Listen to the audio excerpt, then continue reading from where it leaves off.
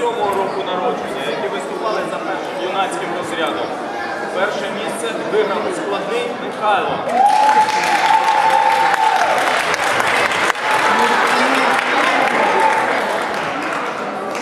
Друге місце виграв Фокін Лука.